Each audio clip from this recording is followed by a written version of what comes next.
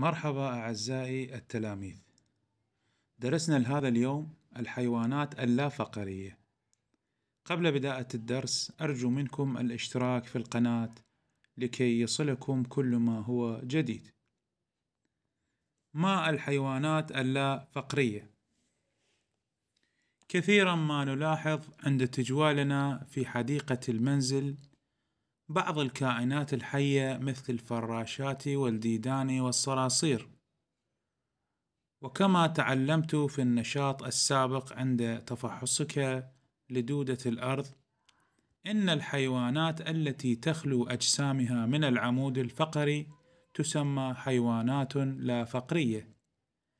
إذا تعريف الحيوانات اللافقرية حيوانات تتميز بخلو جسمها من العمود الفقري وتنتشر في الطبيعة بشكل كبير فهي توجد في المياه المالحة والعذبة وعلى اليابسة في الصحراء والغابات والمراعي.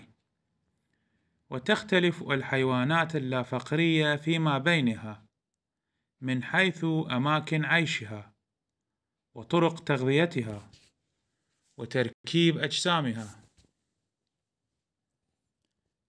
لكنها تتشابه في عدم امتلاكها العمود الفقري أي أن أجسامها لا تحوي هيكلا عظميا. تشكل أنواع الحيوانات اللافقرية نحو 95% من مجموع أنواع الحيوانات. وتكون ذات أشكال وأحجام متنوعة. فبعضها صغير وبعضها كبير.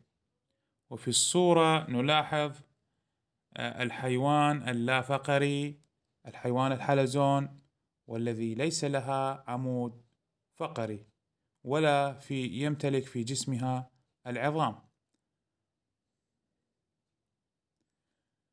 ما المجموعات الفقرية اللافقرية. تضم الحيوانات اللافقرية مجموعة كثيرة ومتنوعة منها. أولا المساميات. تعد أبسط أنواع الحيوانات اللافقرية.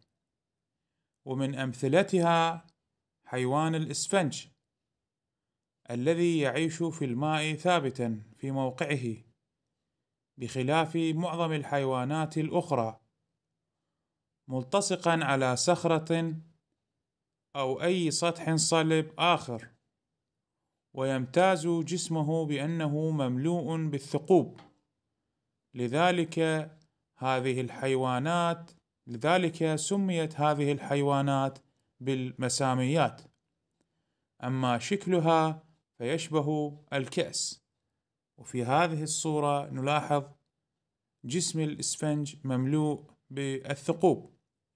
النوع الآخر من الحيوانات اللافقرية الديدان. الديدان من الحيوانات اللافقرية منتشرة في الطبيعة منها ما يعيش في التربة إذ تحفر فيها أنفاقا تعمل, تعمل على تهوية التربة. مثل ديدان الأرض ومنها ما يعيش في جسم الإنسان مثل ديدان الجهاز الهضمي. مسببة بعض الأمراض مثل دودة السكارس التي تنتقل للإنسان عن طريق أكل الأطعمة الملوثة. وفي هذه الصورة نلاحظ دودة الأرض آه، تعمل على تهوية التربة. فهي مفيدة آه، للتربة ويزيد من الخصوبة. النوع الآخر من الحيوانات اللافقرية المفصليات. سميت المفصليات بهذا الاسم لامتلاكها أرجلا مفصلية وأجسامها مقسمة إلى ثلاثة أجزاء هي الرأس والصدر والبطن. وتشكل المفصليات أكبر مجموعة من اللافقاريات. تتنفس بعض المفصليات مثل الروبيان والسرطان عن طريق الخياشيم ويتنفس بعضها الآخر مثل الحشرات عن طريق أنابيب دقيقة. يحمل الرأس زوجا من الزوائد تسمى قرون الاستشعار. هذا مهم أعزائي لربما يأتي في الفراغات. يحمل رأس زوجا من الزوائد تسمى قرون الاستشعار.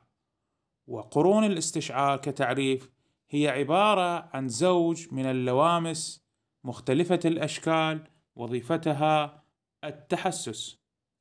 وهنا نلاحظ في هذا الحيوان آه، قرون الاستشعار كما موضح في هذه الصورة. وإلى هنا نأتي إلى نهاية الدرس. وشكرا جزيلا لكم. لا تنسوا الاشتراك في القناة دعما لنا. وشكرا جزيلا.